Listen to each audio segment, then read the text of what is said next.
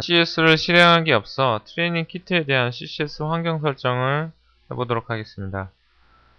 바탕화면에서 Setup CC Studio v3.3이라는 아이콘을 더블 클릭해서 Code Composer Studio Setup 프로그램을 실행해 주십시오.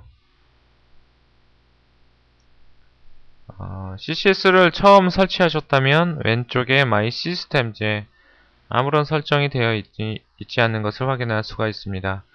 뭐 이미 CCS가 설치가 되었고 다른 타겟으로 설정이 되어 있다면 삭제해 주시기 바랍니다. 가운데 Available Factory Boards라고 보이실 겁니다. 잘, 아, 잘 안 보이시면 화면을 넓게 해서 보시기 바랍니다. 아, 이제 트레이닝 키트에 대한 타겟을 설정해 보도록 하겠습니다. 펠밀리에서 C28XX 를 선택을 하시고 플랫폼에 현재 가지고 계신 에뮬레이터로 선, 선택해 주시면 됩니다. 저는 TDS50 USB C2K로 선택을 하겠습니다.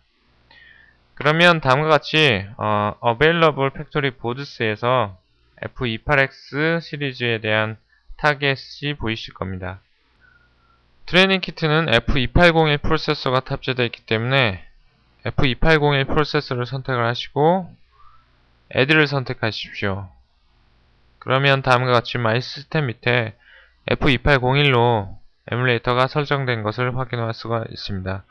여기까지 CCS 설정을 마쳤습니다. Save and Quit를 선택을 하시면 CCS를 바로 실행할 건지에 대해서 물어봅니다. 예로 선택하시면 Code Composer Studio가 트레이닝 키트에 맞춰서 설정되어 실행됩니다.